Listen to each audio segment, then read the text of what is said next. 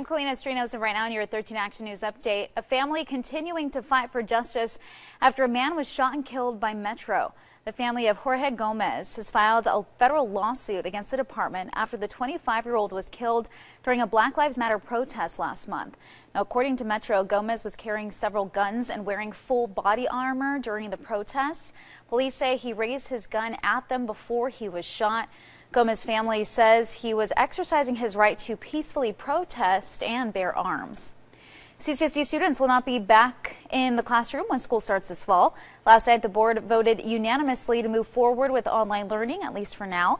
But there will be exceptions for rural schools with less densely populated classrooms, and the board will revisit this decision if schools meet certain COVID 19 health criteria, including positive cases and testing trends in the community.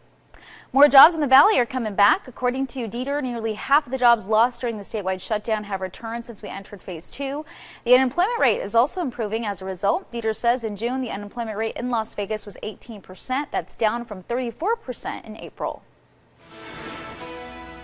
It's going to be windy today. That elevates the fire danger, so a red flag warning is in place from 11 a.m. until 9 p.m.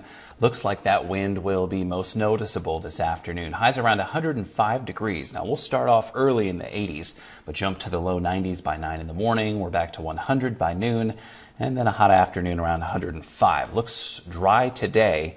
Uh, and for Las Vegas, likely we stay dry tomorrow. A stray storm possible tomorrow afternoon. Clean temperature is not too, too bad, but still warm around 102 Thursday and Friday.